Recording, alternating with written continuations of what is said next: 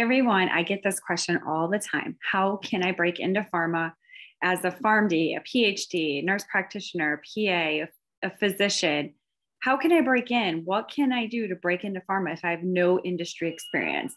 And I can tell you it can happen. You can definitely do it. From my research and some of the papers that I've read, about 80% of healthcare professionals who work in the pharmaceutical industry do not do not have industry experience. So it's definitely doable. It's something you could do. You just have to work towards it. I have five tips today. Tip number one is don't be apologetic. And what I mean by that is if you're applying for a job, don't feel the need to draw to your lack of experience. So don't let's say things like, you know what, I've never met with a KOL. I, I don't, I don't know what meeting with a KOL is like. Just don't even talk about that. Don't draw attention to things that you don't know. That it's okay. You can still apply for a job as an inexperienced candidate because you have experience in other areas. The second thing is prioritizing relevant items. I can't tell you how many times people apply to a job and their CV or resume is not prioritized for an industry position.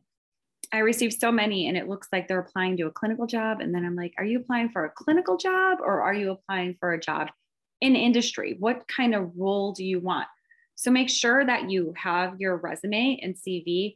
They look really good. They're polished. That that they're basically you have a good cover letter and that you're talking about why you would be good for this role or for this position in industry.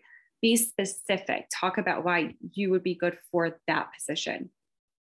Step number three highlight any steps that you've taken or you're taking to make the career change. So, if you want to switch from clinical or from a traditional position into industry, make sure you talk about what you've done and why this would be good for you. So, for example, if you've taken a course or if you've taken a certification, include that on your CV, include that in your education section.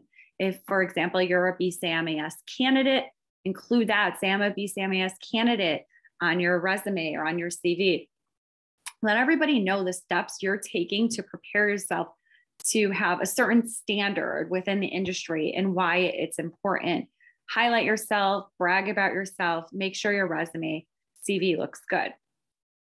Number, uh, the next one, number four, highlighting the steps you're taking to make this career change. Um, sorry, that one is all basically all the stuff, but talk number four is talking about transferable skills. So what have you done um, in your previous work and what can you do to transfer it? So let's th- talk about things like communication teamwork attention to detail all of those things that you've done previously can be transferable to the job you're applying for in industry. So make sure you talk about them you bring them up. Even though your duties of your previous job might you might not think they're relevant there's always transferable skills that are relevant and you want to discuss them Number five, again, tailoring your CV for every application. So, every position that you're applying for, whether it's in oncology, cardiology, if it's medical information, medical science liaison, tailor it.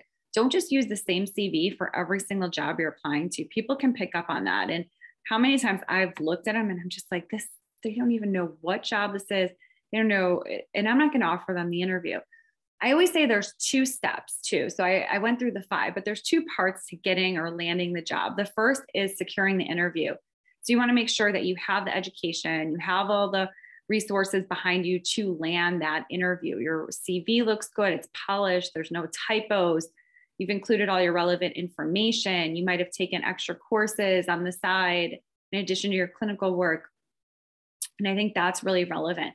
So then you can get the interview. So if you're not getting an interview, something's wrong with it beforehand. You either need more credentialing or a better CV or resume.